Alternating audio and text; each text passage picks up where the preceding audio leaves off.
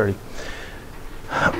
So I tried to show last time that um, the processing rate means that for structural materials that you have to produce in, you know, thousands of cubic meters of material, large volumes.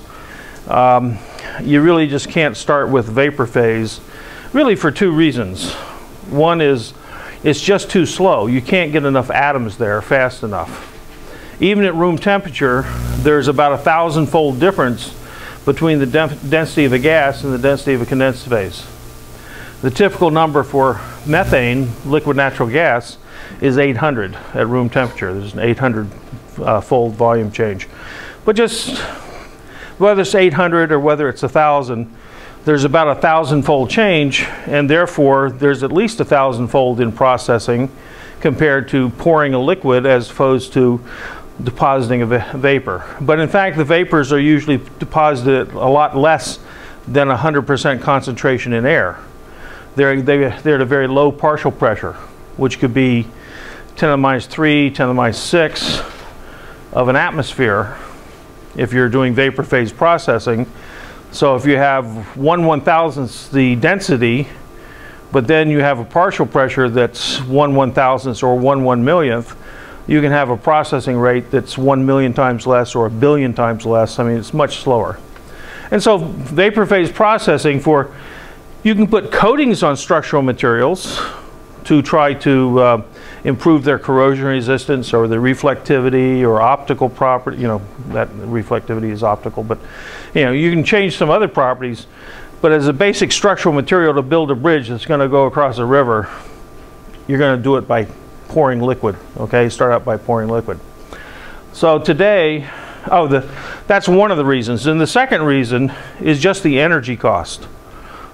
To get something into the vapor phase takes 10 times the energy of getting something into the liquid phase. You've got to break 10 times as many bonds because you've got to break every bond, whereas in a liquid you only have to break about 10% of the bonds from a solid. And I showed you a little graphic on that. So the energy cost is, is tremendous and the processing rate is slow and therefore vapor phase processing is something we do for functional materials that have extremely high value added, like semiconductors okay, that are a million times as valuable per pound or per unit volume. Well, another way to look at this, and this is actually out of a book on selection, material selection by Mike Ashby, who used to be at Harvard and then he just retired a few years ago from University of Cambridge. But uh, this is 1980 dollar equivalent down here, but the, the energy content in gigajoules per ton uh, he's got various things. And these are for structural materials like gravel. All you have to do is crush the rock. Not a lot of energy. There's a lot of force, but on a per pound basis, not a lot of energy. Aluminum, which aluminum oxide is very stable, and that's what you start with out of nature. That's what you mine out of the ground. And it takes a lot of energy to make aluminum metal out of aluminum oxide that you get from the ground. Copper, at that time it was 100 rising to about 500. That's because we've used up most of the good copper ores in the world. Really good copper ores came out of the Congo, the Belgian Congo, which is what, Zaire now, whatever the name of it is. Central Africa, right? Where they're having all the wars all the time. Um, in any case, they used to have 6% copper ores well, if you go to the largest copper mine in the United States, which is still in operation, it's the Bingham mine right outside Salt Lake City. If you've ever flown the right way into Salt Lake City, you look at the world's deepest pit, okay? It goes down, I don't know, 300 feet down, okay? Um, well, the Bingham mine is like less than a half percent copper in the ore. Well, I mean, gold, we mine gold out of ores that are even less than that in parts per million, but gold is 10,000 times as valuable per atom as copper. Um, so there's a lot of energy content in the copper just in the mining. In aluminum, it's basically getting the oxygen out of the aluminum oxide. Plastics, that's basically the energy content that you would get if you just burned it as, as a barrel of oil, okay, plus the processing of the plastic. Steel is around 50, and remember steel is the high volume material in the world, other than uh, gravel and cement. We haven't talked, to, I don't know what the numbers are for gravel, I don't know if I've, anyone, I've ever seen that somewhere, but cement's about 2 billion tons a year, steel's about a billion tons per year. Well, back in 1980, at $4.4 per gigajoule, steel would be about $220 of energy cost per ton. And that was about right back then. Okay, the, the ore might cost you $100, the energy might cost you $200, you might buy the finished steel at $400 a ton because there was some other processing to make it into some shape and everything. Um, aluminum at $4.4 times 300 back in 1980, you'd have $1,400 of energy cost. And at the time, aluminum would cost you, um, the cheapest aluminum back then would be about a dollar a pound, okay? So steel might be 20, 30 cents a pound, aluminum might be a dollar a pound. Aluminum's got one third the density, or one 40% of the density. So you're getting more volume per pound, but it's still a lot more expensive. Okay, now aluminum's up around two bucks a pound, and steel's up around 50 cents a pound or something like that. Okay, depending on the type of steel and, and whatnot. But there's inherently a lot of energy, and in fact, energy costs have become the dominant factor. Whereas I think I may have mentioned when I went to work for a steel company in the early, in the mid 70s, it was about 45% ore, raw materials, 45% energy, and 10% profit for a steel company back then. Um, today, it's about 90% energy cost. Okay, raw materials really don't are not that significant, and that's partly because the only industry over the last 30 years that has exceeded the productivity of the manufacturing sector is the mining sector. If you look at the productivity over the last 20, 30, 40, 20, 30 years in the service sector, which is, you know, doctors, uh, um, uh, insurance companies, Wall Street, and everything else, the productivity growth. Anybody know what office productivity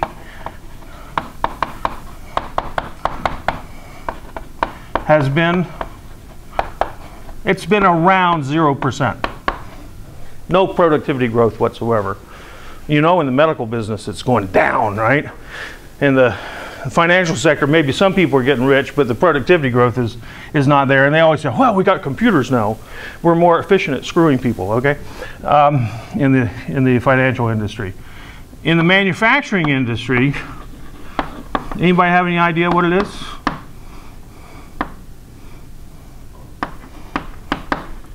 it's been about 4% productivity growth.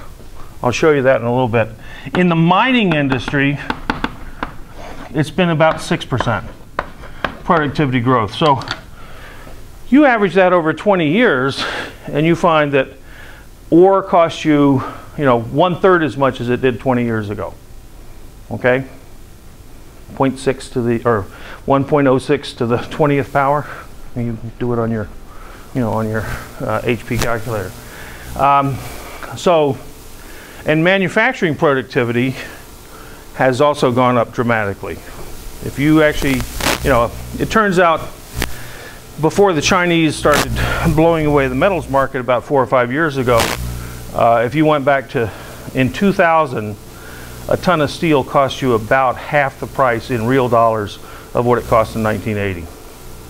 Okay, if you took out the inflation rates okay? And that's because the productivity increases. But it turns out if you look at this kind of plot, which I showed you last time, which is pounds per year used versus dollars per pound, uh, gravel is up. This is not my favorite version of this, but uh, stone, okay, this is stone right here. Very low cost because it has very low energy costs, cement, steel, okay. These things have all benefited from better mining costs. And things up here, uh, have gotten more expensive in a sense um, because they have more energy content in them. Because energy cost has become the big push or a big factor in the cost of materials over the last 20, 30 years.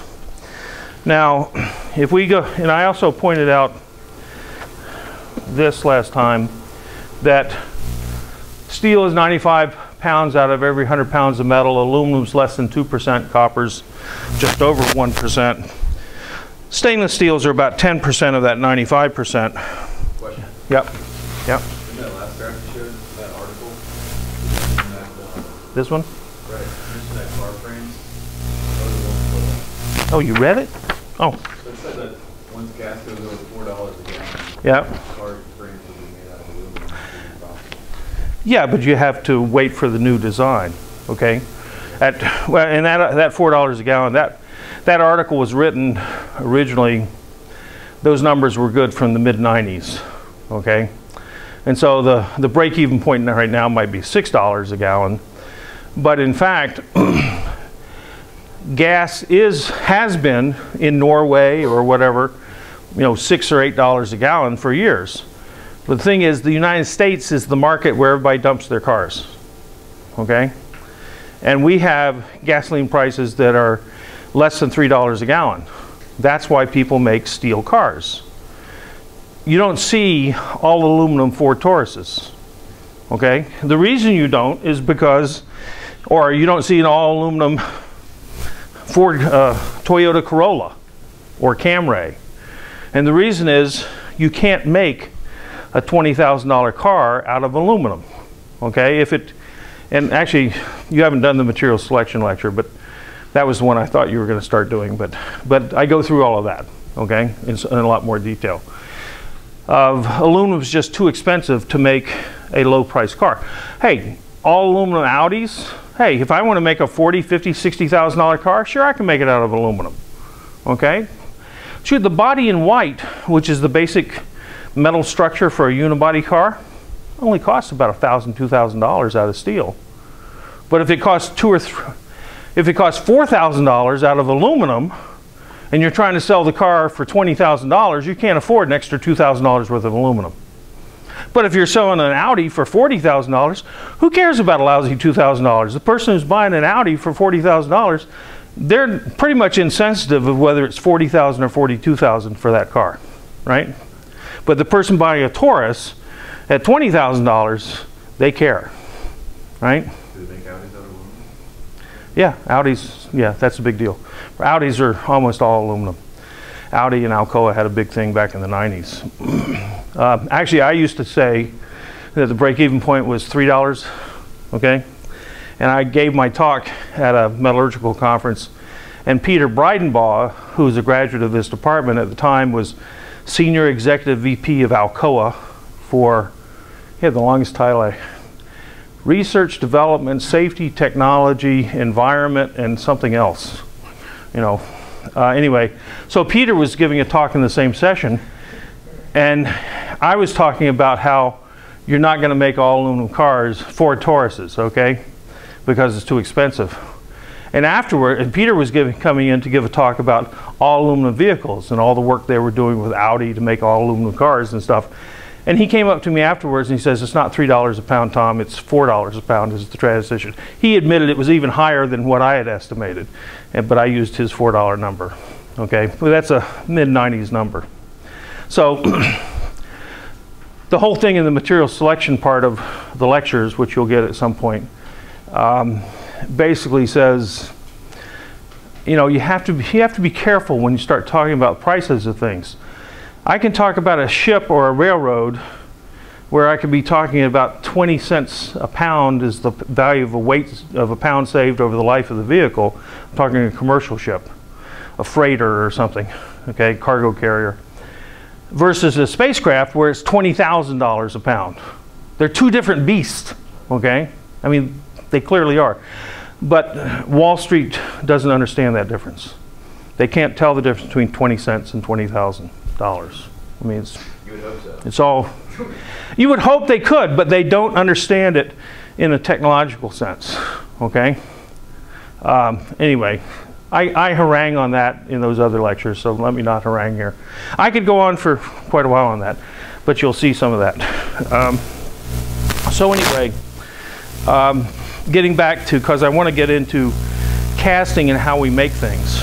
Anybody, but that's a good, your, your question was a good question. Any other questions? I don't want to stifle questions. I just don't want you to, there's going to be enough redundancy. Although some of these stories, you know, the stories don't change that much, but there, there are little differences each time I tell them. Uh, who knows what the truth is? Um, okay, well, you're not going to be able to read this, but I don't, I don't care that you be able to read everything. This is something that came out of modern casting, uh, and it's the pounds of cast metal world casting production in 2004 2005. And gray iron castings, 40 million tons. Ductile iron, which is just a better grade, 20 million tons. Malleable iron, which is expensive, requires a furnace to heat treat for long hours, has dropped to a million tons. Steel, 9 million tons. Aluminum, 12 million tons. There's a problem with this graph. This is out of a this is out of the Metals Handbook, 10th edition, okay? And they got their source is modern casting. Anybody know what the difference, the problem here is? I told you we make a billion tons of steel. And they say that the steel castings output is 10 million tons or 9 million tons. What's the problem? They say 12 million tons, they say aluminum's more than steel. Pardon me? The only steel they're talking about is where the final product is a cast shape of steel. They don't care about whether you made a plate or an I-beam out of steel. These are the casters. They only count the steels that were cast as a piece of steel. But in aluminum, where everything is cast, that's 12 million tons of, of aluminum that was produced in the world. Much of it ended up in Audis as sheet metal, okay? What's the largest use of aluminum in the world? Largest single fraction, 40% of all aluminum goes into what? Beverage cans. Aluminum cans. 40% of all aluminum production goes into cans. Okay? All of that started out as a casting, and it's part, all those beverage cans are part of this 12 million tons. This number should be a billion, uh, should be a billion tons, not 10 million tons because they're comparing apples and oranges. This is what's sold as a casting. This is all the aluminum that was cast for any application, even sh as sheet metal or anything else. So you have to be careful. uh, just because it's in a handbook, just because because it comes from a reliable source, doesn't mean it's reliable. Which maybe I'll, I'll go and give you an aside once. This happened to me a couple of times. Well, actually, maybe I'll tell both of them. I don't know. Um, back in the, the late 70s, I was giving some talk at a welding conference, and I decided I wanted to know, well, how many welders are there in the United States? Okay? So how would you estimate that?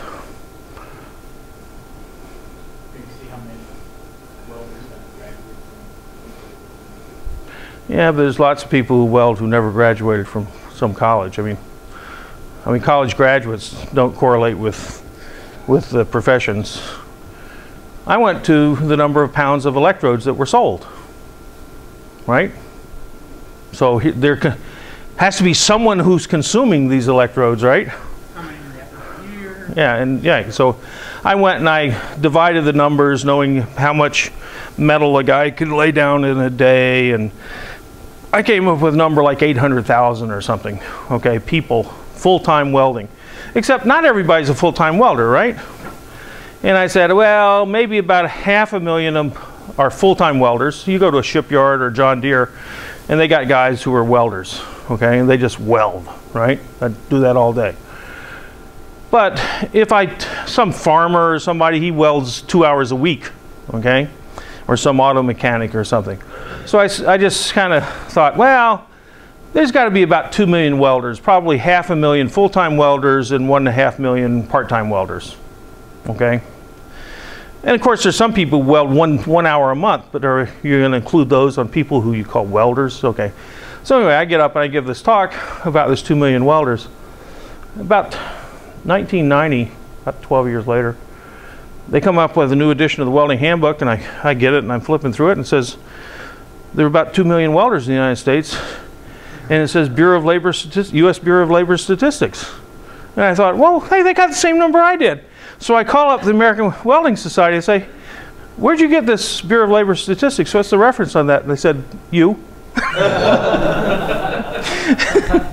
the Bureau of Labor Statistics had called up one of the number, and the no- only number they had ever heard was me, and so they gave it to them.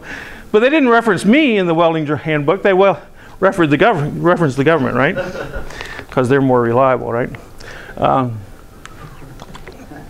the other uh, reference was uh, guy Clayton Christensen up here at Harvard Business School. He's been chair of the faculty.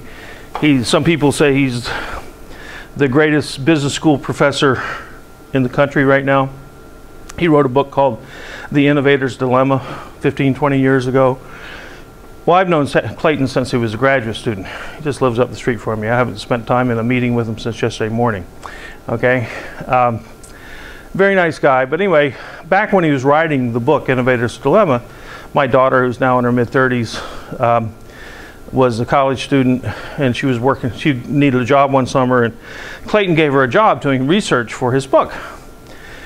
One of the sections in his book, his examples, is the steel industry, okay, and how the big integrated producers didn't innovate and the, the little electric furnace steel makers kind of did innovate, and that's what his whole book's about the innovator's dilemma.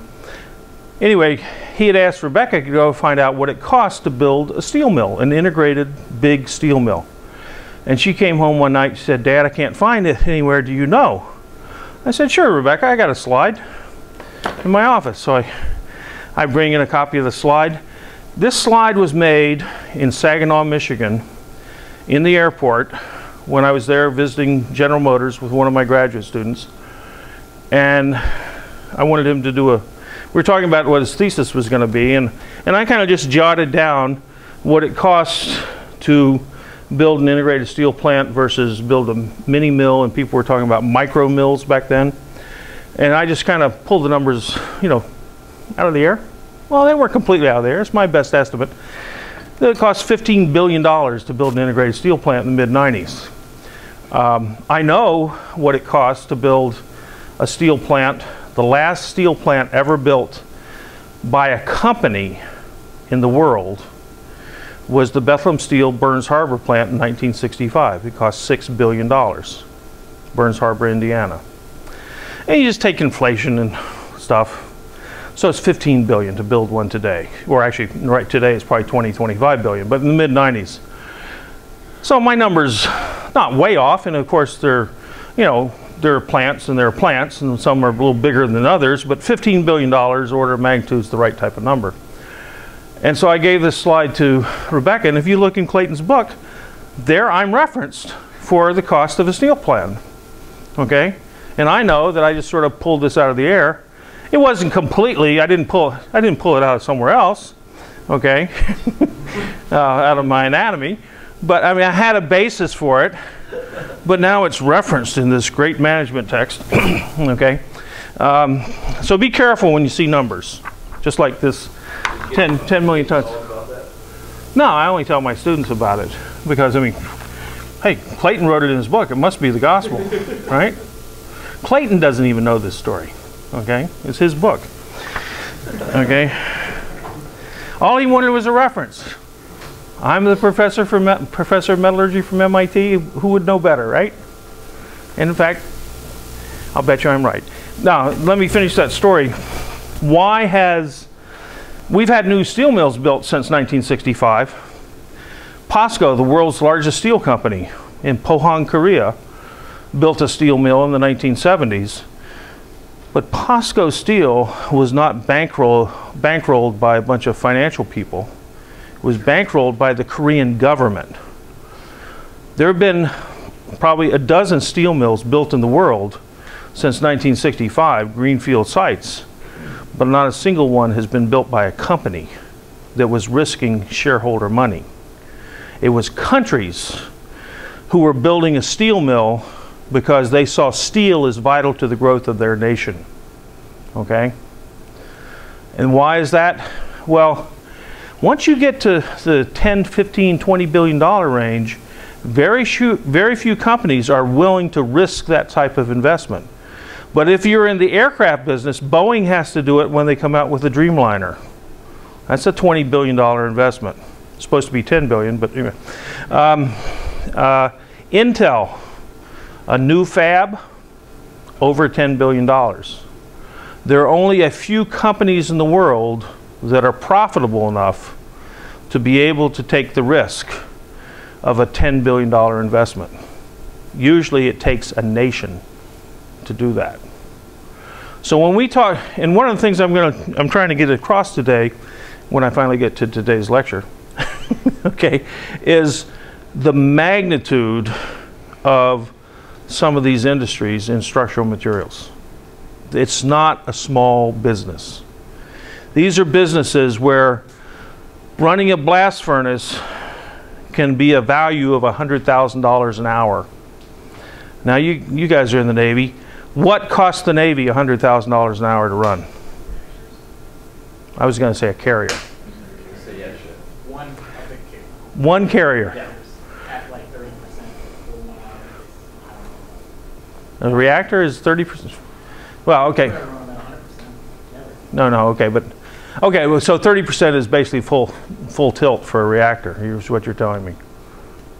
I mean, Well, that's, that's like just turning the screw. Well. no, Okay, well, if that's what it is, I mean, I, I mean, I don't know. I haven't figured out a react, uh, but if I got 5,000 personnel on a on a carrier, okay, and you just start talking the operations, and whether it's 100,000 or 200,000, well, maybe running that reactor is 50% of the cost of running the ship, okay?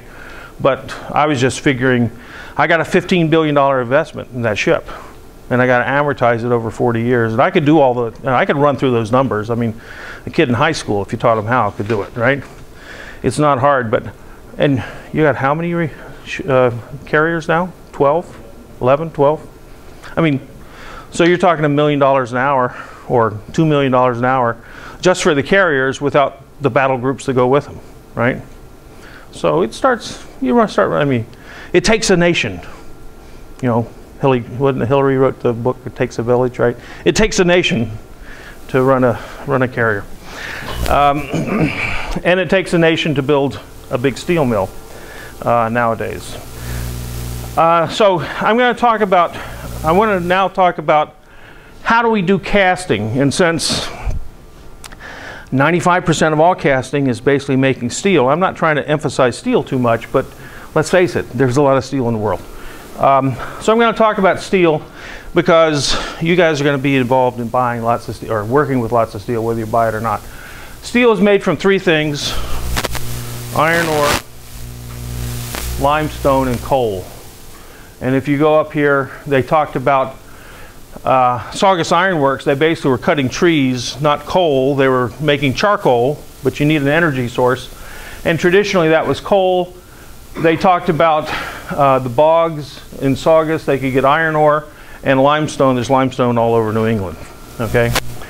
This is limestone is the flux. The iron ore produces the iron. In the old and the the coal, they had to put in coke ovens not to, well, the coal, the coal ordinarily has all kinds of volatile components. So you basically do the same thing with coal that you do with, char- with wood for charcoal. You burn off all the volatiles in a reduced oxygen environment. It's called a coke oven. If you want to see a carcinogen factory, it's a coke oven. Okay? It puts out, I mean, you know, when I moved to Bethlehem, Pennsylvania, you could smell the coke ovens all over town just the sweet smell of sulfur. Okay? Um, and in fact, there's a whole area of chemistry dealing with um, uh, volatile carbons, or what do they call it? Co- coal tar. Okay? If you go back in 1900, you would have taken courses at MIT in coal tar chemistry, and that's the volatiles that come off at 2,000 degrees Fahrenheit off the, this stack and what you're left over is carbon similar to charcoal, but it came from coal and we call it coke. Okay? And you take that and you crush the limestone, you don't have to do much more than that. Today we have to take iron ore from different parts of the world and we have to sinter it. We have to grind it and sinter it and make it into pellets. And they just look like little, little, uh, they used to be golf ball size, now they're smaller than that so they can get faster reactivity. Uh, but, you know, uh, marble size pellets of iron ore. In the old days, anyone ever heard of the Mesabi Range in Minnesota? There was an iron ore range in Minnesota that was the iron ore was so so pure all you had to do was crush it up like limestone and stick it in your blast furnace. But they ran out of the Mesabi Range right after World War II. We just mined it into extinction, and they basically still had lots of iron ore up in Minnesota. And they the Great Lakes were a huge shipping going from Minnesota to Pittsburgh to Chicago, you know, whatever. Yep. I'm going to talk about that. Hold, hold that question, okay? But this was, this was virgin ore, okay? Now, you then have to put those three things into a blast furnace. This is about 40 stories tall, and today a good blast furnace probably costs you two, three, four, five billion dollars, okay, depending on the size.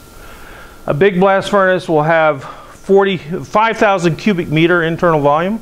That's pretty good size, okay? And it will produce 5 million tons a year. So what's, uh, what's that, 10,000 tons a day, 15,000 tons a day of, of, iron, car, of cast iron. Now, this all comes, the blast furnace is 100% ore and it's all virgin steel, virgin iron that goes to the steel, the steel refinery. And the, the steel, steel is made by three processes, or it was. Electric furnace, open hearth, and basic oxygen furnace. And they had to add some more flux into all of these. The electric furnace can start, you could start with pig iron, but that's an expensive way to do it.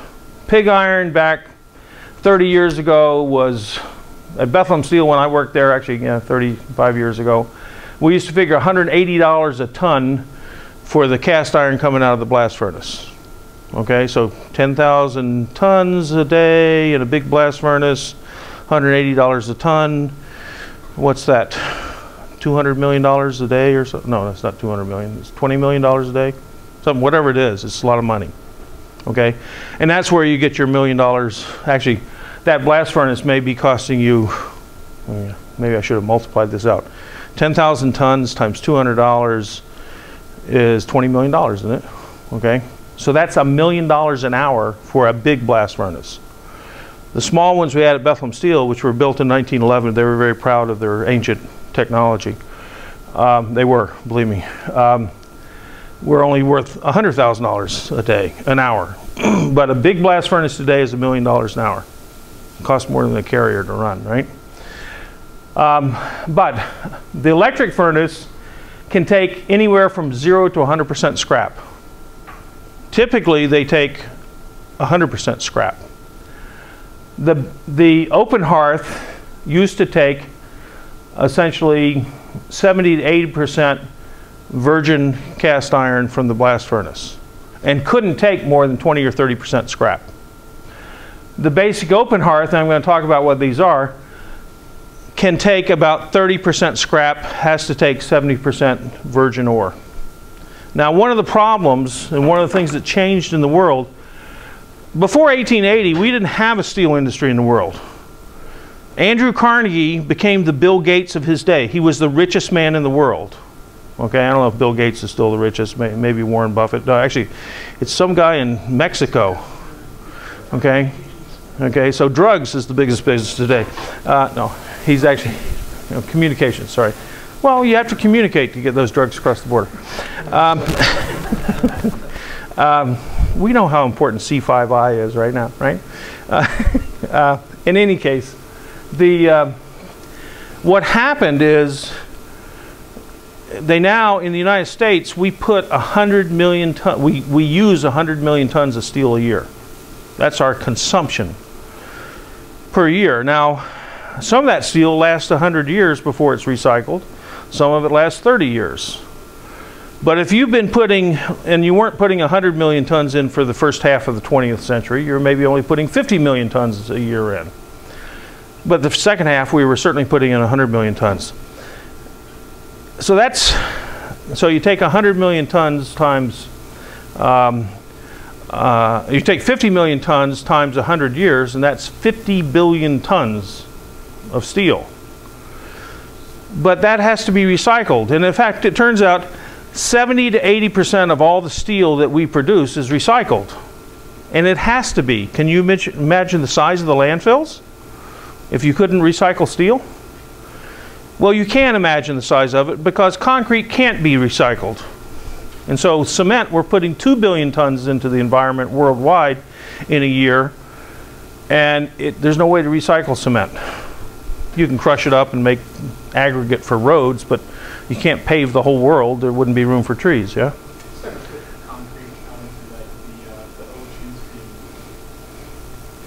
Breakwaters?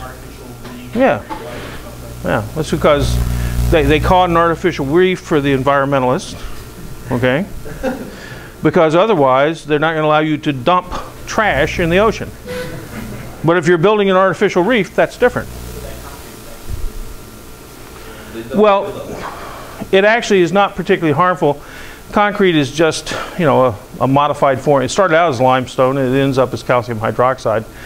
It's not a terrible thing, but just think about we don't recycle a lot of steel, a lot of concrete, but we're using twice as much of that as we do steel. But if you start thinking about what happened in the 1960s and 70s, the cost of scrap dropped dramatically. One of the reasons people say the Japanese attacked Pearl Harbor was because we were starting to put restrictions on the amount of scrap steel that we would sell to Japan. Remember that story?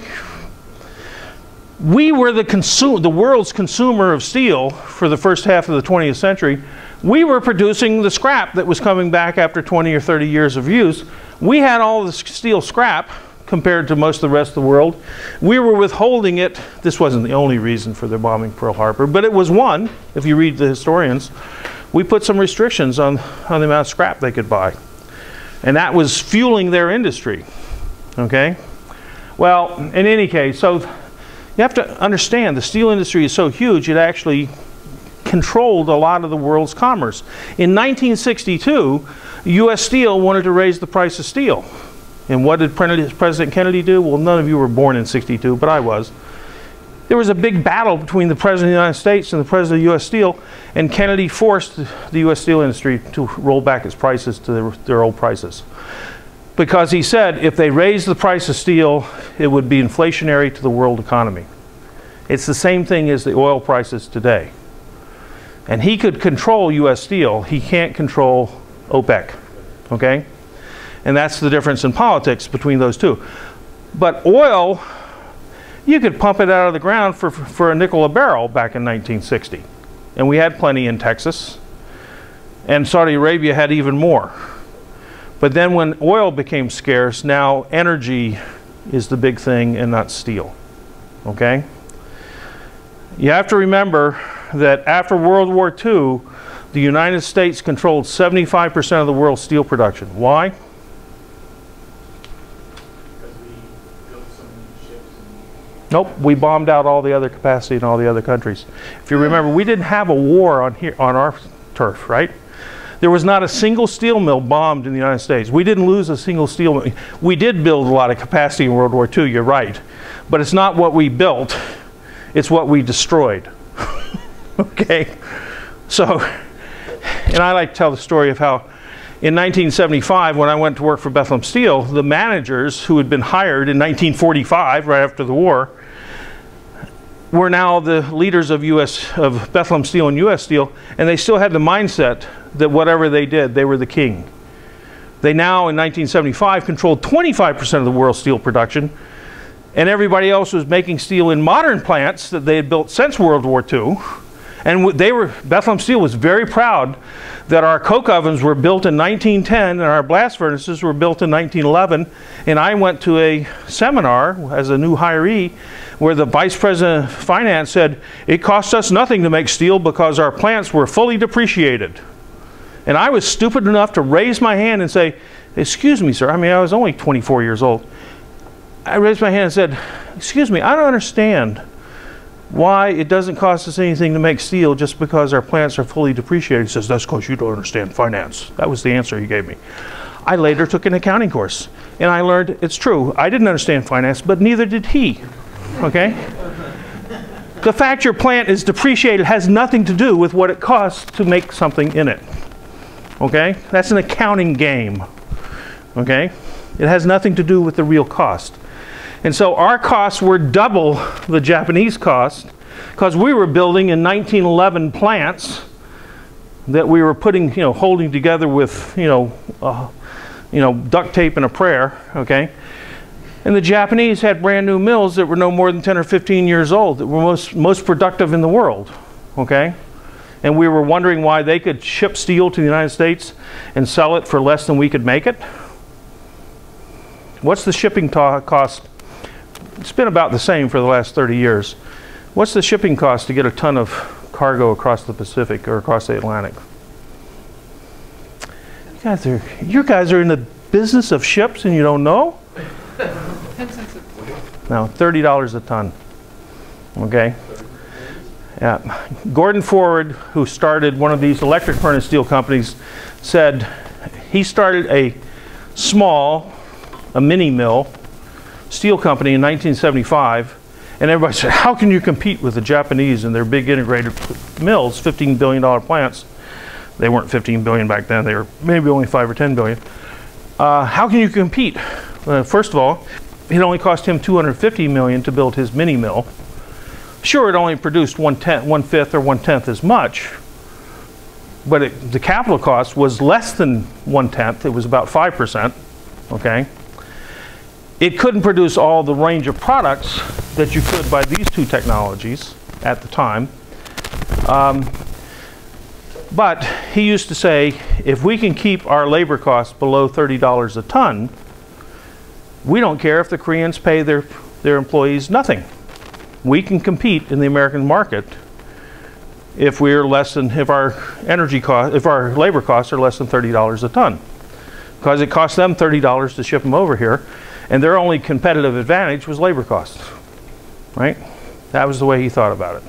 By the way, Gordon's a graduate of MIT, uh, this department. Uh, he's retired up in Vancouver now, but he's Canadian by background. But anyway, Canadian? What's wrong with Canadians? No, Vancouver. Oh, Vancouver. Yeah. Uh, yeah, you do have to beat them tonight, or you'll be just like the Miami Heat. Ooh, yeah, yeah, okay. Uh, yeah. Well, it's good to see Dirk Nowitzki and Jason Kidd get a ring, right? Anyway, uh, so what are these two types of furnaces and what's this type of furnace and why? What's what's the big difference here that makes these things so important in this huge industry? I mean, it's, steel today is a trillion dollar world, worldwide industry billion tons times $1,000 a ton. I did that math in my head. Okay? Okay, so um, before I get to that, let's talk about cupolas. Cupolas. Most of you thought of a cupola was a little thing you put on top of the barn that had a weather vane. Okay? What?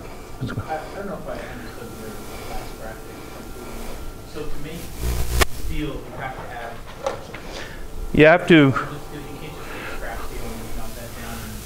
You can in an electric furnace, but you can't in a open hearth furnace or a basic oxygen furnace. And I haven't told you about. I'm going to tell you about these ty types of furnaces now. The blast furnace just makes pig iron or, or cast iron. It actually is carried over. You don't solidify it. That would be a tremendous waste of energy. So you carry it over in a hot metal car about 100 tons at a time. Big railroad car. I mean, see all the see all the bogies here? Lots of wheels on that railroad track. But it's not going but about half a mile through the plant over to the steel making.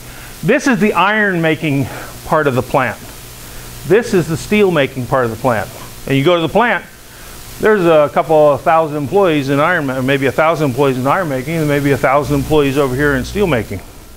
Okay? This is cast iron. Lousy mechanical properties. Today, maybe $300 a ton value for the molten iron. Here, you're talking about something that's going to have a four, five, six hundred dollar a ton value, just as a casting with no shape yet. You give it shape like an I-beam or a sheet with particular properties, and you're getting up to 800 to $1,000 a ton selling price. Okay? Okay. And actually, the other side of this, I flip this over. They take the hot steel, I could have showed you this whole thing, and they continuously cast it. That's where I started out. I was going to talk about casting. They continuously cast it, they ingot cast it. They take the pig iron and they make, they actually make pig iron, which you can sell to someone to make cast iron parts. Okay?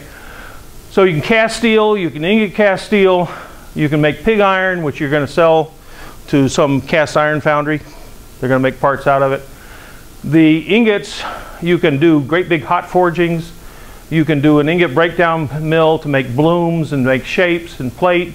You can do continuous casting to make slabs, and you can do all these other things. And we're actually going to talk about all this, not just for steel, but for all metals.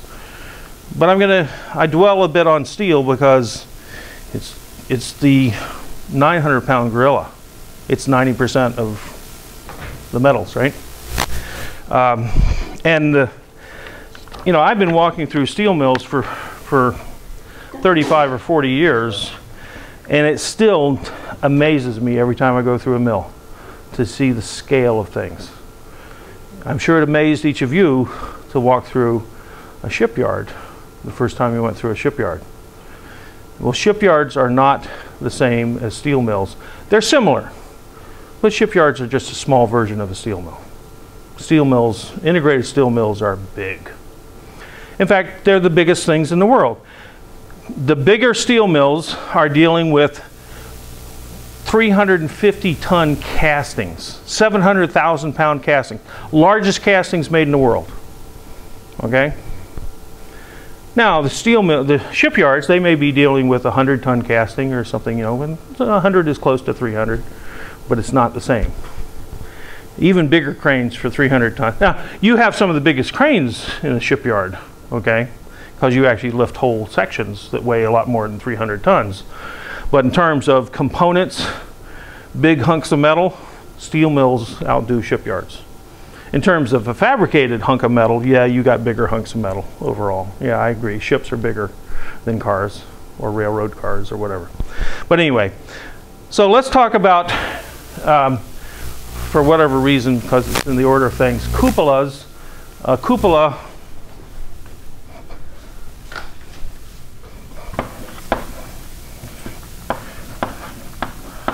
And if you look it up in the dictionary, cupolas are these little houses with weather vanes on top of a barn or something, okay?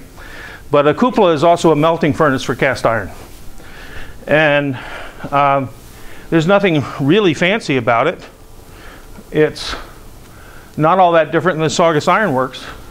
You put your charge up here, your iron ore and your limestone and your coal, you dump it in the top, and you have a flame where you're, if you go over to Saugus, you'll see this in stone, okay, because they didn't have metal things to build back then.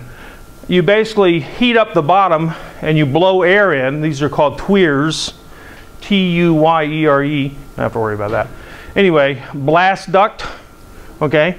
Later we're going to talk about a blast furnace. A cupola is nothing more than a small blast furnace. Saugus Iron Works, nothing more than a small blast furnace okay? But we call them cupolas when you're just making cast iron. In the 60s, Mao Zedong in China decided he was going to industrialize China. And he started, as part of the Great Leap Forward, all the communes were supposed to have their own cast iron cupola. So instead of making pottery and clay utensils and pots, they were going to be able to make cast iron. Mao Zedong was leading China right into the 16th century. Okay? And by 1975, 10 years later, when he passed away and they opened up China, all of a sudden between 75 and 85, we were flooded with little cast iron trinkets. Because every one of these communes now had to try to figure out some way to get some currency. And so I have a, a cast iron Christmas tree stand, okay, that was made in China. This was the beginning of made in China, right? The modern made in China, okay? Because why did they have? They had thousands and thousands, if not a million, of these little cupolas. They weren't all very big, and they weren't all this fancy. They may have been sort of Saugus Ironworks sort of fancy. Remember, he was leading them into the 16th century, right? But they had, China had probably half of the world's cast iron capacity in these little, inefficient, environmentally unsound cupolas. Okay? Um, now they've gotten rid of a lot of that and gone upscale and they make ties. There's apparently one town in China that makes 90% of all the world's neckties. Okay?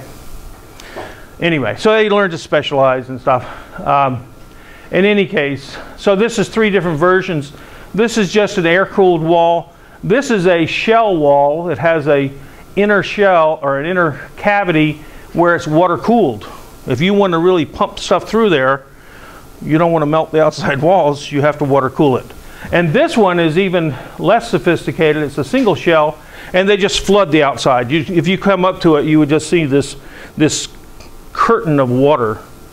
Okay? They're just pumping Niagara Falls around this thing to keep the walls from melting. But productivity goes up as you cool the walls. Okay? And they do this same type of cooling of the walls on the huge steel blast furnaces.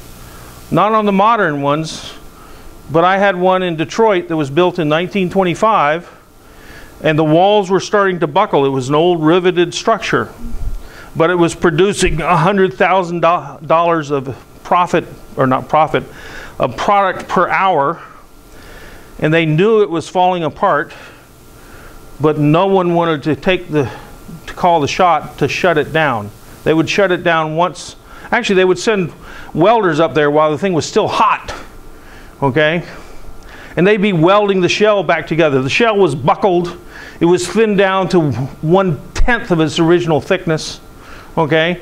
They were just flooding the outside with water to keep the whole thing cool. Anyway, because $100,000 an hour, who's going to who's going to shut it down? No one, not the outside consultants, not the internal. No one was going to take that responsibility. So they kept pushing it until it blew up one night and caused a half a billion dollar loss. Okay? Hey, insurance company paid for it. Okay. Um,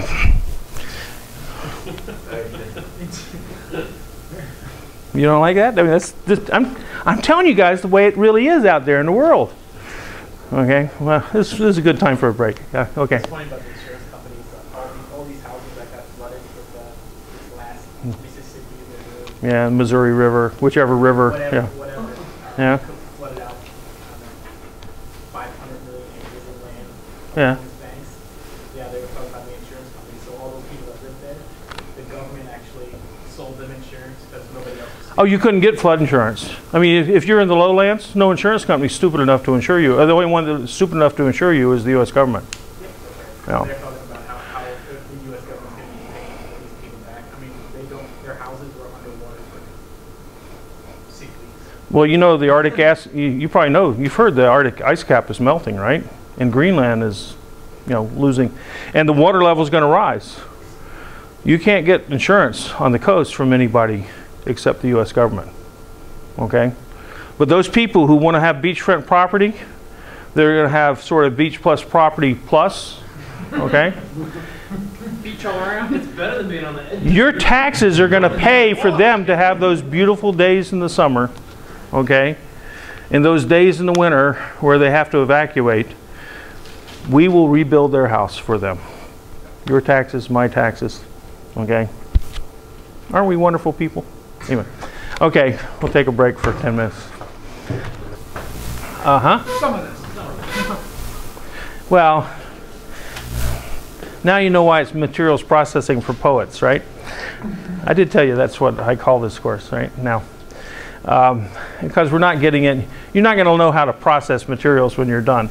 But you guys are all going to be managers anyway.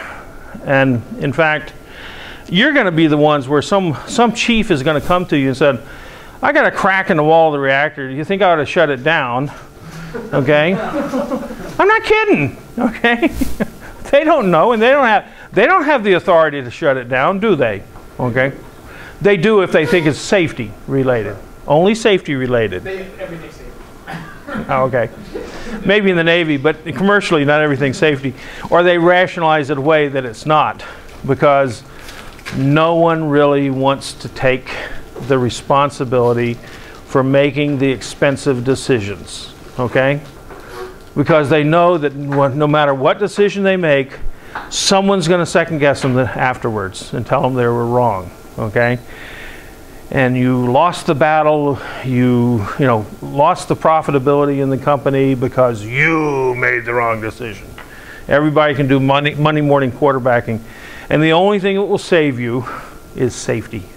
I did it because of safety, okay? That's the only, that's the only defense you have, right? Uh, seriously, that's just the way it is. And it's not all that different even in Wall Street. I mean, people have to make billion dollar decisions and most people don't understand what they're doing enough that they can make an intelligent decision. So a lot of times there is no decision, which is the worst decision. Okay. Anyway, that's that's another thing. But you were asking about energy crises. Okay. We have had energy crises. Um, the problem with energy crises, it's the same story that investors have had for centuries you don't put all your eggs in one basket. The reason we had an energy crisis in 1973 is because we were almost totally dependent on oil as the source of energy. We had no capacity to immediately switch from oil to natural gas to coal in most of our big energy consuming industries. And when the oil supply got disrupted, all of a sudden, we had a crisis. There wasn't enough energy available because the only energy that we could use was oil. And the problem, we had another energy crisis in the early 80s or 1978 or whatever. It was nowhere near as bad. The reason it wasn't as bad is because the managers who had been had had the government come in and say you've got to shut down your plant you know, except in the middle of the night because we don't have enough electricity because we got oil-fired electrical plants. Um, and they, they were losing hundreds of thousands of dollars an hour because they couldn't run their plant at capacity. They said, I'm not going to let this happen again. They went out and bought insurance in the sense that they could run their furnaces on oil or gas and some of them on coal. So they diversified and so the next energy crisis, which actually in terms of, I don't know if I could, you know, someone could probably prove this, the restraint on the amount of oil we had may have even been worse, but it wasn't felt anywhere near as bad because industry had the ability to flip the switch and change to natural gas or to flip the switch and change to coal. Not everyone had that, but you don't have to have everyone have flexibility. You only have to have some flexibility. In 1973, we had no flexibility. So what's happening today? People have been predicting for 50 years that we're running out of oil in the next 20 years. Okay? Why are we not running out of oil?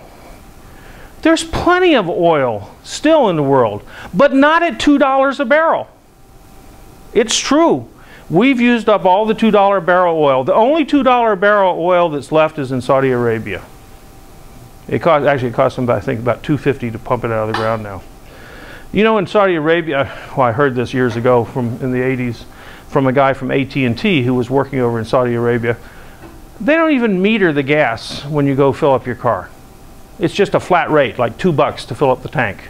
You need, you need five gallons, two bucks. You need 20 gallons, it's two bucks, okay? It's the same way, it's, uh, one point five cents a gallon. Yeah. I mean, Libya, I mean, I read this stuff in Libya, it was 10 cents a gallon or something, you know, whatever it is. They don't care. The price is nothing. It's the inconvenience they have to get out of the sun or get out in the sun and fill up your car, right? Um, so, because to them, oil is cheaper than water, okay? So, anyway, what about energy crises? We've got as much heavy oil in the form of tar sands. So I say we in North America, I'm including the Canadians. We don't need hisses again, since I said Canadian. Oh, I said Vancouver, right? Up in Alberta, we have the tar sands. And they have almost the same energy reserves as Saudi Arabia. Okay, 200, 250 years. Now, you can't get it for $2 a barrel. I remember when I first worked on a case up there, it was about $30 a barrel, and oil was going for about $30 a barrel. And they were barely able to make do. Well, now I think because of environmental concerns, it costs them $50 a barrel, but it's selling for 100, so they're making out. Anybody been to Alberta? Richest province in Canada, right? Money flows like water, okay? I mean, they, they are just rolling in billions and billions of dollars, okay, of oil money, right? All the other provinces, they're all going bankrupt. But Alberta, move to Alberta. Socialism will take care of you, right? Not in Alberta. Not in Alberta? Oh, those cowboys. Okay. Okay, anyway. It's the most American province in Canada. Well, it's because they got money.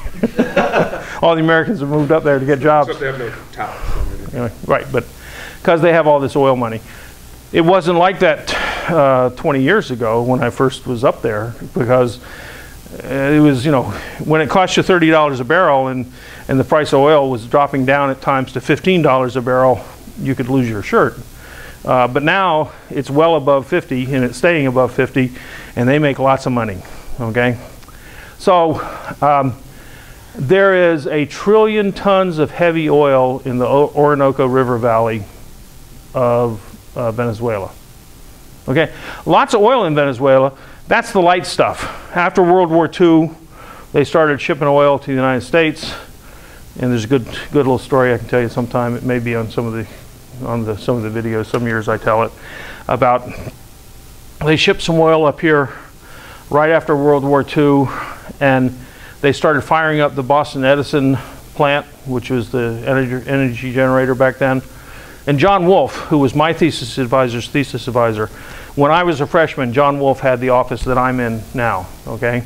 And he told me the story when I was a freshman that he got, he got a call one morning from Boston Edison. They needed a consultant because they, overnight, all the stainless steel in their whole plant had just rotted away to nothing overnight.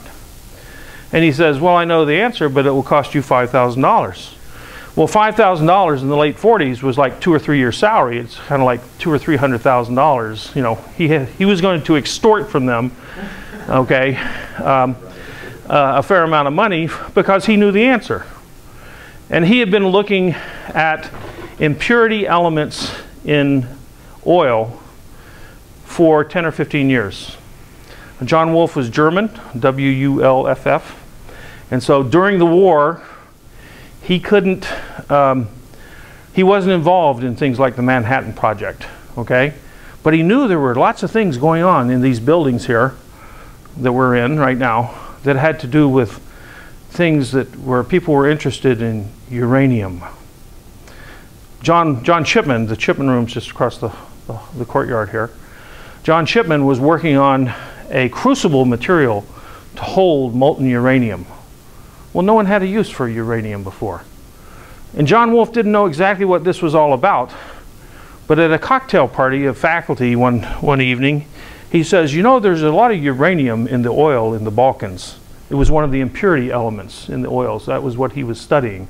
He'd also studied oxidation of metals. Anyway, after he said the, he told at that cocktail party about the uranium and the oil, he said there were two Secret Service agents in his office the next morning asking him what he knew about uranium. Okay? So there were people at MIT that knew about the Manhattan Project. Anyway, um, but John Wulff didn't because he was German. Um, anyway, after World War II, Boston Edison, all the stainless steel went to pot, and they said, "Well, if you know the answer, we'll pay your fee." But this is this is, you know, we we need to know the answer. They just lost a, a million dollar plant. Okay, what's five thousand dollars? They needed to know. And he said, "Okay." After you got the all the agreements signed, he said, "Last week you got your first shipment of Venezuelan oil." They said, "Yes." He says, "Venezuelan oil contains vanadium." And vanadium forms an oxide with stainless steel that melts off the protective chromium oxide of stainless steel. And so they had just oxidized their stainless steel because the vanadium purity in the oil just ate it up overnight. And today, the API has specs, American Petroleum Institute has specs on getting the vanadium out. There is only, there are only one or two alloys. Actually, there's really only one alloy. It's like a, a nickel chrome alloy that can survive vanadium. And I actually briefly got hired on a thing up in the tar sands area of Alberta because they have vanadium in their things. They have processes now to get rid of the vanadium, but back then no one really knew about it because they always had the nice crude from Texas and stuff that didn't have this problem. But John Wulff knew about it at the right time and found the right client who had a big enough problem that he could put a couple of kids through college uh, on that one, one answer. Okay? So you got to be at the right spot at the right time. Anyway, so where did I get into that story? Um, where was I? I was going to talk about uh, cupolas and stuff. Uh, by the way, this is a piece of cast iron. This part was shipped to me over, it was in my office when I showed up Friday night after my travels. It's just cast iron. I need it back. I have to do some tests on it. But it's part of a, a big tractor trailer and it actually holds the kingpin, which is the, the pin, the big six inch diameter pin that holds the trailer to the tractor, okay, and the fifth wheel and stuff. And this was just kind of the lockdown to keep the thing from bouncing out. And it turns out it did bounce out in one case. And uh, anyway, we don't have to get into the accident that, that it caused. But anyway, there are complex shapes that making something out of cast iron is fine. And this is just a little more on a cupola. A modern cupola, you have where you pour the material in at the top, you have different types of ceramic on each side. You have to have expansion joints. It's really hot down here where all the fuel is melting the, the stuff coming in from the top. And you have these blasts in here, just like the, you, you know, Michael showed you the, the uh, bellows, and you have to heat things up by blowing air in. These are the tuyeres. And then every now and then you open the plug, which is just a big plug of sand or whatever here, and the cast iron comes out. You cast your pigs or you cast your little brackets or your Christmas tree stands or whatever you're making. Okay? So that's cupola technology. It's used still in bigger cupolas in lots of foundries all over the country and um, uh, uh, you know, people who make brakes for cars, uh, you know, brake calipers and things. The engine blocks for cars, they're typically melting in cupolas. The American Foundrymen's Society has gone and gotten money out of the Department of Energy for more efficient cupolas that use less energy so you can be you can pay Americans more to compete against the Chinese who are making cast iron parts and paying the people nothing. Okay? This is a blast furnace, not a cupola, but it basically has a what they call the bell up here, which is basically just a valve. You can pour your stuff in, drop the bell, and everything falls in. You have to have abrasion resistant walls here. You have erosion all the way along here. You have thermal shock, just like the thermal expansion. The difference is this might be 20 stories tall in a steel mill. It's not a small furnace. This furnace could cost you $2 billion just to rebuild. You have these huge blowers. There's a man standing right there. Okay? Yep. What material are they making these furnaces out of? Steel shell, maybe one inch thick. Okay? There's an internal pressure of a few psi, like five, five psi. The blast pressure, You're blowing air in there pretty fast. It's basically almost supersonic. I mean, it's it's let's I'll call it sonic velocity. You're blowing in air in as fast as you can to get the fastest burning rate. You got a mixture of coke pellets, sinter pellets, which is the iron ore, and lumps of limestone. The limestone starts to melt, and so down here you get slag, you get a molten glass floating on top of the cast iron. Uh, actually, a molten glass of slag floating on top of the cast iron. You got the carbon mixed in here, and eventually down here at the very bottom you get this pool of iron. On one side, you take off the slag, you have a little tap, so you can get rid of the molten limestone and silica glass that came from the iron ore rock and stuff. And then a slightly lower one, believe it or not, this is a little bit lower.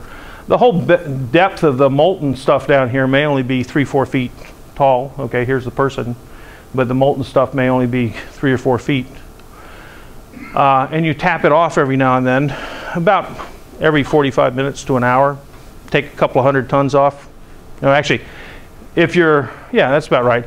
In a big, a big one at a modern Japanese or Korean mill, 5,000 cubic meters, 10,000 tons a day, maybe 15,000 tons a day. One of these can produce four to five million tons of steel. Well, that's, you know, that's 0.5% of the world total out of one blast furnace, okay, per year.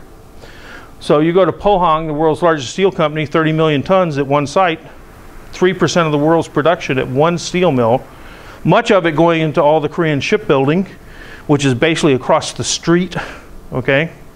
Not across the street, it's actually maybe 10, 15 miles away, okay? Um, uh, but it's not very far away. They don't have to transport those, those plates very far. Um, but um, they may have five, five of these that are producing 25 million tons of steel a year. Okay? But it only takes five of them. Lots of refractory here. You've got like three or four feet of ceramic refractory brick. Relining this thing, you may spend $100 million on ceramic brick. Okay? Relining it takes six months. This thing will run for five years or more before you have to shut it down and completely rebuild it. The rebuild can cost you a billion dollars to completely reline it. Uh, on the smaller, older ones, and actually probably even on the newer ones, they have uh, they have injectors where they actually can spray more ceramic on the inside walls because hey, you hate to lose a half a year's production at uh, you know at a couple of hundred thousand dollars an hour, okay, you start figuring that out. The downtime's worth something, okay. So they have all kinds of ways to try to keep these things going, and the ceramic gets eroded away over time, okay. But the the temperature gradient across here, I mean, you've got well, I may have a picture of it somewhere, but you may have 2,400 degrees Fahrenheit here, and you've got a temperature out here of a couple hundred degrees. And sometimes they water cool the outside seal shell. Just a sheet of water coming down, waterfall. Yeah. And they got, they got, uh, they weld on rods so the ceramic brick can be attached to the shell. I mean, it's, it's, it's a pretty complex structure, okay? But it's a multi-billion dollar facility, okay? Now this is only part of it because, I'll show you some other pictures, but anyway.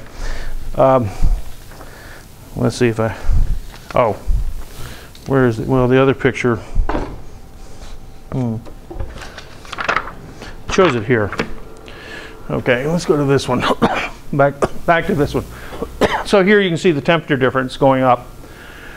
You see the gases coming off. A lot of your coal in the steel company uh, takes about 600 pounds of coal for every ton of cast iron. Okay. Um, so 600 to 2,000 pound ratio. Well, all that coal burning, you have these two stacks coming up around the, the thing that's dropping stuff in, and you ha have the gas coming down, and most of this gas is coke oven gas. Or actually, you have coke oven gas, which is another thing. It's blast furnace gas. And the blast furnace gas will go through one of these regenerators. And the other one, the air blast will come in through this hot regenerator to preheat the air. You have this on ships, okay? When you're burning, when you're not reactors, but you have, you know, steam boilers, okay? You preheat the air to get more efficient burning of your fuel. You can't get these temperatures and you, unless you have a blast. The reason it's a blast furnace, you're blasting air in there, just like the old bellows in the blacksmith shop. This is a big bellows. And this brickwork here, you have two of them because one of them's being heated by the exhaust gas. It's cooling the exhaust gas and heating the brick. And the other one is heating up the incoming air. And every now and then you'll switch over, like every three or four hours, you'll switch over and heat up the other one and cool down the other one, right? So this is just energy conservation. These things are as big as the blast furnace. That's why even if this is a $2 billion furnace, which cost a billion dollars to rebuild, the whole facility for a blast furnace is probably $5 billion today because you have to have all your ore handling equipment, raw materials handling, and then you have to have all these blast stoves and stuff, they call them, okay? It's big. I mean, it's a lot bigger than a football field. It'd probably be about 10 football fields volume, okay, of real estate. Not a small facility. Um, but getting back to, um, if you look in something like, are you guys familiar with ASTM specs? Some of you have heard of ASTM specs. So there's like a six volume set for steels. There's a five volume set for all other metals, okay? Um, it's just the way it is. So back in 1998, last time I bought a set for myself, you go to MIT library, you can get the current year spec. Uh, but this is section one of ASTM. There's like 30 or 40 different sections. All the ASTM spec books would take more than the width of this room and it's plastics, it's anything. ASTM's down in Philadelphia, and they make a fortune off selling specs. And they have committees write specs. And so if you look in here, this is on structural steel, reinforcing pressure vessel railway. And I picked out A36, garden variety, ASTM A36, garden variety structural steel. Plates, I-beams, bars. This is what a civil engineer uses to build bridges and buildings. This is 36 KSI steel yield, garden variety, and it will say somewhere in here, I found it this morning, um, that Okay, section six, process. The steel shall be made by one or more of the following processes, open hearth, basic oxygen, or electric furnace. Those are the three that we talked about before. So garden variety, you can use any steel mill in the world to make your steel. For this steel, but there are other specs in here, high strength um, steels that like the Navy's HSLA 60 will have a spec in here. This is the one on cast irons okay? You look at the cast irons, it's not going to tell you anything about open hearth because open hearth, electric furnace, and BOF, basic oxygen furnace, are steel making processes. And what's the difference between steel and cast iron? Cast iron melts at around 2,000 degrees Fahrenheit and it's got 3 or 4% carbon. Okay? And it, in some forms like ductile iron, it's almost as good as cast steel but not quite in terms of mechanical properties. Um, the, the bulk of the cast iron, you hit it hard with a sledgehammer and it fractures. In fact, if you ever seen the guys, uh, uh, the gas guys uh, repairing a, or the water main guys repairing a gas leak, and they get in there, get down in the hole, they uncover this big water main, and when they need to, they don't have to go in there and saw it out. They just take a sledgehammer and they just hit it. it just shatters, okay? And that's what we got our, that's what carries the water and that's why you have big floods in Cambridge like up here, okay? But some of those, those cast iron pipes are 100 years old, so they've gotten a fair amount of service. Now, the basic open hearth. The basic open hearth, we have not built one in the world since the early 70s. But for the for a 100 years before that, or 90 years before that, this was the way steel was made. It took 24 hours to make 300 tons of steel. Okay? It took forever. I'm not over yet. Okay. Is it? Yeah, we got another 20 minutes, right? So it took forever. 24 hours to make 300 tons. This is the size of a football field. And here you can tap it into ladles and stuff. You had big brickwork on either side, the same size as this, to preheat the incoming air, you know, recover the heat from the outgoing air, and you switch over every six to 12 hours, okay, in your brickwork. So you had three football fields for one furnace to make 300 tons of steel, okay? And then in, um, well, actually, I'll go back to this. in the 60s, a little place in Austria, this actually I think is 1958, decided to try pure oxygen and burning off the carbon. Steel is basically burning the carbon off the blast furnace. The blast furnace iron has got three, per, three or four percent carbon. You got to get it down to one tenth that value to have the steel. You got to burn off the carbon. In an open hearth, you just use air flowing over the furnace to slowly burn off the carbon. Here, you blow a supersonic jet of liquid oxygen into a molten steel bath. And you burn off, not in 24 hours, but in 10 minutes, you burn off all the carbon. So now, every 45 minutes for the whole cycle, you're producing 300 tons of steel in 45 minutes as opposed to three or 400 tons in a, in a day. Pretty big productivity increase. It all occurred between 65, 1965 and 1980. Okay? So the steel industry had this tremendous new high productivity process. They had to have a source of liquid oxygen. Companies like Linde will build a liquid oxygen plant right there on the steel plant grounds because this uses about 15% or 20% of all the liquid oxygen in the world. It goes to making steel, burning the carbon out of the cast iron. Okay? And the plant is quite a bit smaller. uh, you have all this stuff to take care of the gas coming off. Here's your vessel, might only be 20, 30 feet tall.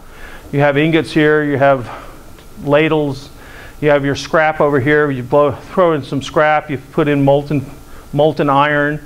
You put it all in the vessel, you only fill up the bottom four or five feet of the vessel. So a person standing here, they don't have a person in this one, but a person might be uh, something like this. This might be 20 to 30 feet tall. And you only fill up about the bottom 20% of the vessel, and here's your lance for oxygen. But when you blow that oxygen in there, this thing fills up with a foam of molten steel. It's really exciting. You want to see fireworks? It, this, you want to go through a steel plant. Okay? 20, 27, 2800, 3000 Fahrenheit, foamed steel, 300 tons. Okay? It's neat. Okay? But it's big scale. Okay? Uh, and here's an electric furnace, which has been around for 120 years, ever since Edison and Westinghouse. And it's nothing more than three carbon electrodes, oh, about three, three and a half feet diameter carbon electrodes. Three phase electricity running at, well, the big ones today will run about 150 MVA, okay? 150 megawatts. It's actually MVA if you're an electrical engineer because it's reactive power, not, anyway. Um, but anyway, big electric arcs, two, 300, 400 volts at 50,000 amps, okay? You can melt 100 tons of steel in half an hour, 40 minutes. You can use 100% scrap. And what's happened, remember we put this 50 billion tons of steel in the environment and we're getting back each year about 70 or 80 million tons in this country, and in the world, we're getting back about 600 or 500 million tons a year of scrap. Well, we don't need to make everything in blast furnaces anymore. And so if I went back to just 40 or 50 years ago, 80% of my iron or my steel, because the world was on a growth after World War II, as it was industrializing and rebuilding after World War II, they needed more and more steel, and there was a bigger and bigger growth. Around 1970s, 1980s, the market flattened, partly because of the energy crisis, partly because the world couldn't afford more steel. We were getting so productive that we could make so much in the plants that we had, we didn't need new plants. And that's why, since 1965, no company has been able to justify building a new plant. Only countries who are doing it for political, economic reasons, not for business reasons. And so the countries would build in excess capacity, and all these other countries that had enough capacity, like the United States, were being competed against by countries who wanted to own their own steel mills. They didn't want to just buy from the United States anymore. And so all of a sudden, the U.S. steel industry was operating at 50, 60% of capacity. When they needed to, it's just like the airlines. You know, the airlines can't make money unless they're operating at 80, 85% of capacity of passengers filling seats. Well, the U.S. steel industry couldn't make money at 60% of capacity. When whole countries like Korea or Japan or China or Romania were building steel plants, the American steel industry couldn't afford to replace their 1911 you know, blast furnaces. They didn't have the profitability. President Kennedy helped ensure that in 1962 when he made them roll back prices. Okay?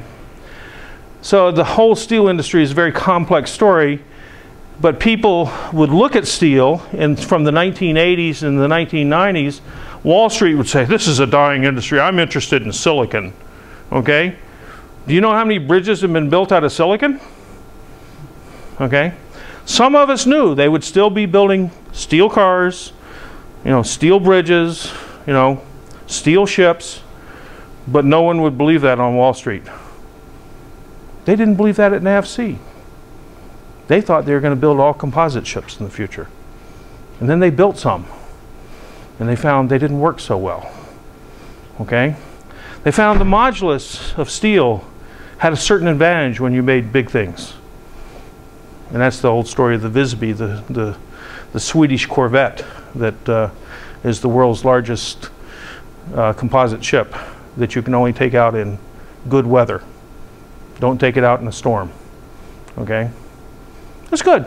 As long as you have an agreement with the other side, they'll only do battle in, in good weather, you know? Right?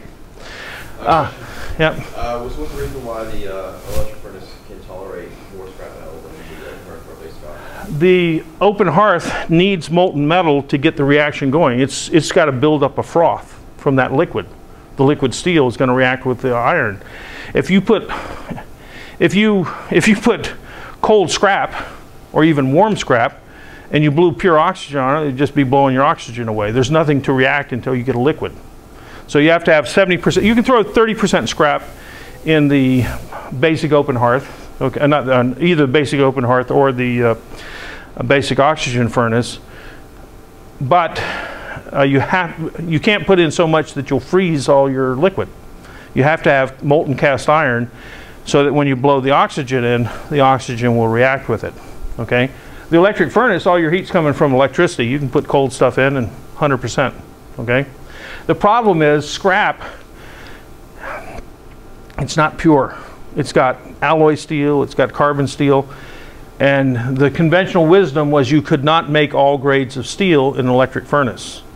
From a basic oxygen furnace, you're getting out virgin iron or virgin steel, and you can add alloying elements to it. So the basic oxygen furnace had fewer inclusion, it was cleaner, no, fewer non-metallic inclusions in it, uh, didn't have residual elements. I mean, I, I get a piece of, small piece of steel, and people say, well, was this made in a basic open hearth or an electric furnace? All I have to do is look at how much nickel and chrome and stuff is in there.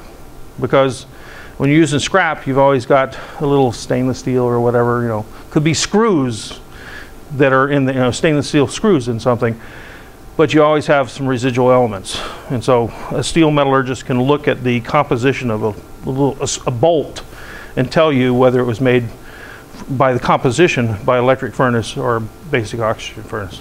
So they don't separate that, those type of alloy elements out from this process? When you're remelting, you can't get all the things out, all the elements. Some of them you can burn away, and others you can't. You can't burn away anything that oxidizes uh, that is more noble than iron. Because if you start burning away the iron, you no longer have anything of value, right? You're, if you go back to ore of iron oxide, you haven't gained much. And as a result, elements like bismuth, bismuth, they won't let near a steel mill. At the 10 part per million level, bismuth will turn will go to the grain boundaries of the steel and embrittle it. It'll be junk. And you can't refine it out of the steel. You can blow oxygen in it until you've burned all the iron away to nothing before the bismuth will burn away. Okay? That's just the way of the fundamentals of the chemistry of the process. However, they're going to re replace lead in solders. And a lot of them, they're using bismuth. Okay? Well, you know what that's going to do to a lot of the world's steel? It's going to make all the scrap useless. We're going to have to landfill it.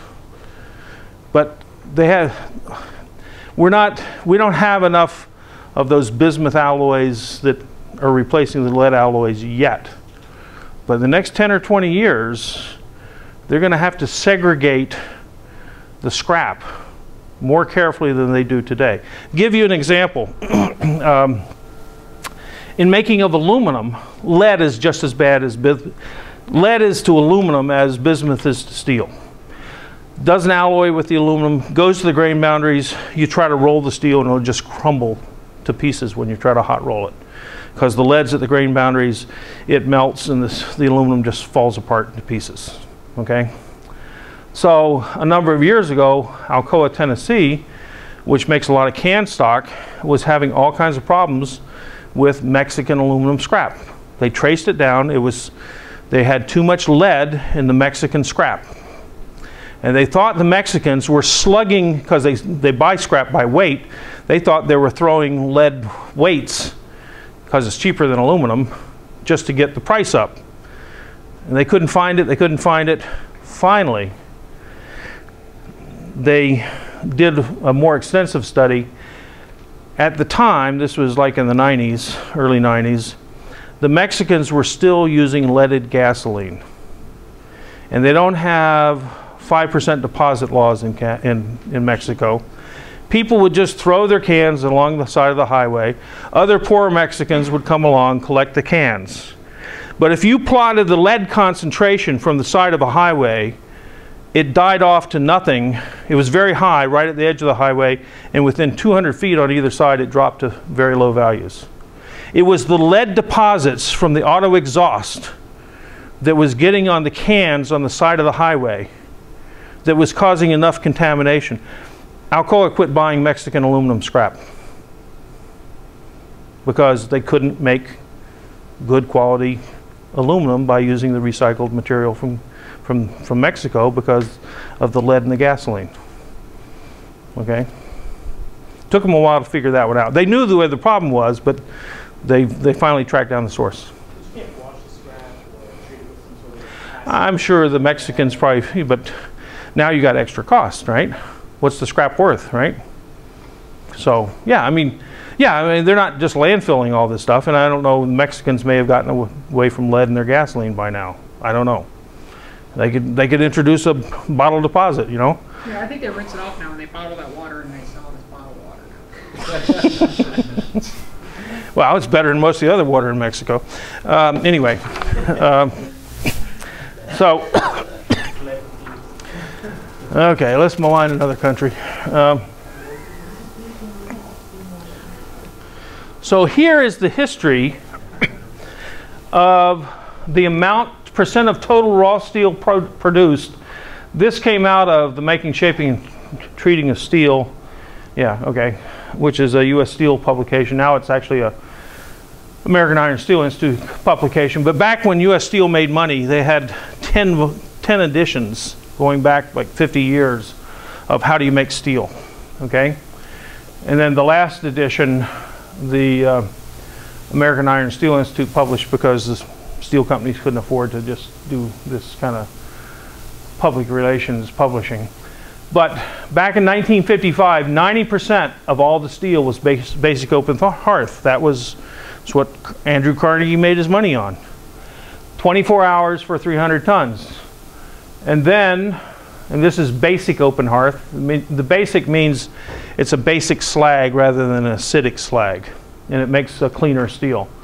But it dropped within, from 1960 to 1980, in 20 years, the basic open hearth shut down. About 1970, when it was clearly a dead process, U.S. Steel built the world's largest basic open hearth, a 450 ton furnace in Pittsburgh. Clever management, okay? The rest of the world had seen the trend, but not U.S. Steel's management, okay?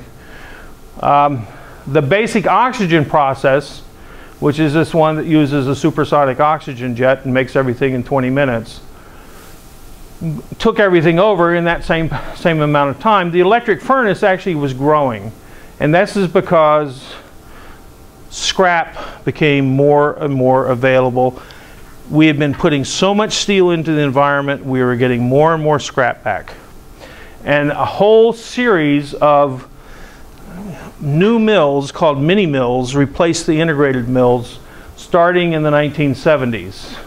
Because some of these guys, like Gordon Forward or Ken Iverson at Nucor, realized you could buy scrap at $100 a ton. You could buy pig iron at $200 a ton. Both of them end up making steel as the raw material for steel. Which one do you use for your process, your, for your uh, plant to make steel? The $100 a ton product or the $200 a ton product? Duh. Okay. And that was the growth of the mini mills from 1975 Today, about 50% of the steel made in the United States is, comes from electric furnace mills. The conventional wisdom at the steel companies, hey, I was one of these employees back then, was that you couldn't make the same quality steel. All they could ever make was garbage steel. They could, they might be able to make kids' little red wagons, you know. They could make concrete reinforcing bar or something, but they couldn't make automotive sheet. They couldn't sell to General Motors, okay? and therefore they were never going to be important. And that's why Clayton Christensen published in his book Innovator's Dilemma, and he, he, he defends the steel industry as these great paragons of managerial wisdom who were torn between integrated producing produ uh, production and electric furnace production and it's the innovator's dilemma do they go and try to do like the mini mills and he, he presents it as if it was a real question that someone with a brain would, would have to think about. Okay? But in fact, it was obvious to anyone. I remember another person that I knew when I was a graduate student, a guy, Kim Clark. Kim Clark became the dean of Harvard Business School. Okay? And Kim and I, our wives were best friends. I mean, his, his son knocked my oldest son's teeth out twice in six weeks, okay, on the playground, okay? Um, and I remember going to a meeting with Kim once, and this was when I didn't have money to feed my family, and Kim had just gotten back from Disney World with his family, and he was down there lecturing to, them, to the American Iron Steel Institute, the presidents of all the, all the AISI companies. This was back like 1980, okay? I said, well, Kim, what are you telling them about? I mean, Kim had studied labor economics, okay, at Harvard. And Kim, you know, he helped me build a Pinewood Derby track for scouts. It's the only track of the four that doesn't go straight, okay? Kim doesn't quite know which end of a screwdriver to use, right? Okay? He's not mechanically inclined, okay? He's not technically inclined. And he was explaining to them about this dilemma of uh, should they put in uh, ingot casting versus continuous casting, which is something I haven't brought up yet. But ingot casting versus continuous casting was a process in 1970 that it was absolutely obvious you could go from 65% yield to 95% yield on your steel. And so is, does it take a, a genius to know which one would you rather have? Okay. But Armco Steel, it's a dilemma, okay? The, for a businessman, it's a dilemma, okay? Armco Steel decided to put in ingot casting. And three years later, after they built it, takes about three years to build the plant, and invested a couple hundred million dollars, they decided they were going to have to put in continuous casting. Now, anyone with a brain would have known before. But Kim said oh, he was defending this dilemma, okay? And he was telling these managers how, how difficult this decision that they had to make was. Well, of course you tell them they're paying your consulting fee, okay? And you're not going to tell them they're idiots, okay? My problem in my profession is I will tell them they're idiots, okay? But in fact, they were idiots, okay? But Kim became dean, and you know, here I am lecturing to you. But at least I have my integrity, okay? Ow. I'd rather be lecturing to you, believe me, uh, uh, than sitting in those meetings. But anyway, this is the trend in the industry. It's all BOP and, and electric furnace. But you'll still see in the specs, because the specs were written 80 years ago, that's how you can do it. So um, let me just show you, there's lots of variations on the BOP process.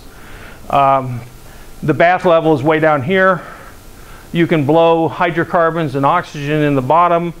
This comes out of the US Steel book, so they like to talk about the QBOP process, QBOP, and that's bottom blowing um, rather than all top blowing, so you can you can get a froth from the bottom rather than from the top. It's a little more efficient, but it's a more complex process.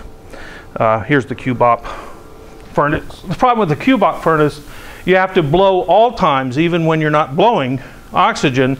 You have to have a flame coming in here so the steel doesn't leak out the bottom. so you have to have enough pressure to keep it from leaking out. Here is, this just take a second. Uh, here are the different size vessels. From 1964, Allegheny put in an 18 ton vessel. McLouth put in a 60 ton vessel in 54. Now these were sort of experimental things back then. Um, by 73, Bethlehem put in a 300 ton vessel. And these are all on the same scale. It doesn't get a lot bigger because it goes as the cube of the dimension, right? For the volume that's in there.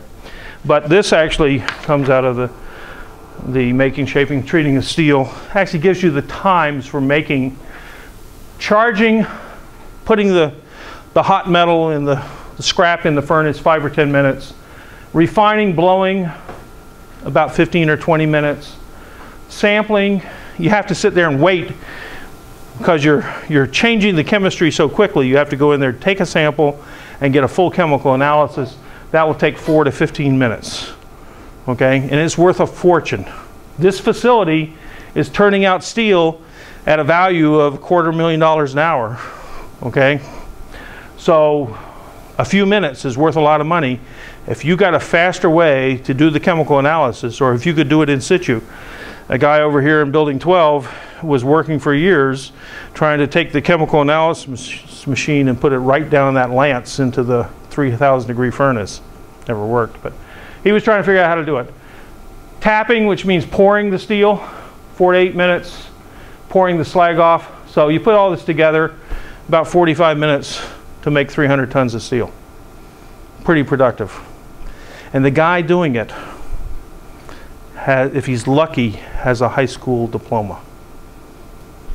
In 1975, I got thrown out of the shop at the Sparrows Point the BOP shop at the Sparrows Point shipyard, not shipyard, but steel plants right next to the shipyard. Um, when the guy found out I was from MIT and had a doctoral degree, he threw me out of the threw me out of the pulpit. And they were they were casting a special heat of steel for a LNG carrier, and I developed the steel, and I was I had gone down there. It's a, it's a little bit longer story, because when he found out that I actually had a degree that he didn't have, he threw me out of the pulpit. I couldn't be there while he melted the steel. And the steel came in off chemistry, okay? But he was one of the highest paid employees at Bethlehem Steel. Back in the mid 70s, he was making probably 100,000 a year as a hourly employee, but he was responsible back then for $100,000 an hour worth of product and getting it right. I still wonder if he got it wrong just to spite me, okay? I hadn't said anything to it. What it was is, I will tell you what I did. There was no one there. It was a slow time after the oil embargo. And we came in, there was one chair in the pulpit. And there were three of us, and I went and sat in the chair. And when he came back in, I stood right up immediately and welcomed him, you know, said hello to him. But he was very upset that I had been sitting in his chair. And then when he found out, I asked him, I asked him, I said, well, I, I was looking at your, your process sheet, you know, the plan for how they're going to make the seal. I said, you're going to, you're going to shoot for the high end of the range or the low end of the range? He says, what are you? I said, you got one of those degrees like Sully? And Sully was an MIT metallurgist. And he was head of the melt shop engineers, okay? He said, you, you got, you got uh, and I, I had a hard hat. I should have brought it with me. Still have it in my garage at home. Said T.W. Eagar Research White. They could tell the difference. That was white for management. And so the crane operators could make a better hit, okay, if they were dropping something. Um, anyway, he, uh, he says, you like Sully? You go to MIT? and my boss, who had also gone to MIT, he breaks out laughing. And the next thing we know, the guy walks out of the shop. In comes one of Sully's engineers and said, you guys better get out of here. So I got thrown out of the melt shop because I asked the question and I was sitting in his chair. So you may have met some people like that in your in your day too. Okay. Okay. Let's see. Actually, I don't think I will be back. I'm not, not here the rest of this week. I'm going to visit the army and see how they blow up uh, uh, vehicles in uh, Afghanistan. Um, I think I'm